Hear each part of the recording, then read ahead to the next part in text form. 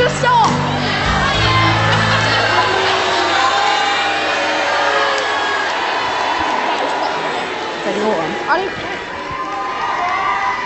Basically, at the end of the day, we don't care what you guys say. We just came up here. But at the end of the day, yeah, obviously we care what you think, but she's just being a bit over the top.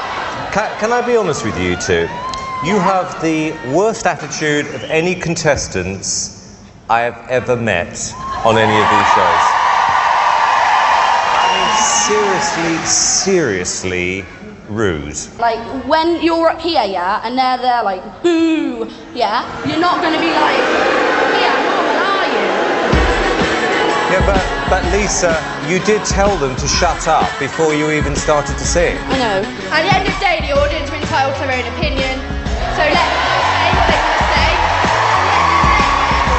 The singing was not great, girls. Who are you? Nah.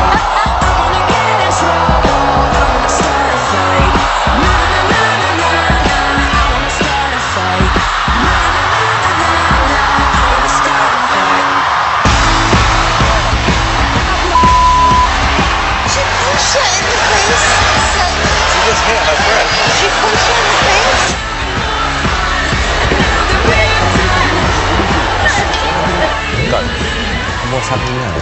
She clumped her I think, I think she did as well. She went out. So we've kept them separate backstage at the moment. Oh, if she didn't do all of that, I know what I was Cannot doing. strike people. When I said, who are you, I didn't mean it as a bad thing. I, just didn't even know who she is. She goes to one of the star judges. Sorry, but who the hell are you? How does that make, that makes me look like a toss. It's the last time I ever do anything for her again. Can you pass on from me? It's four no's. Yeah.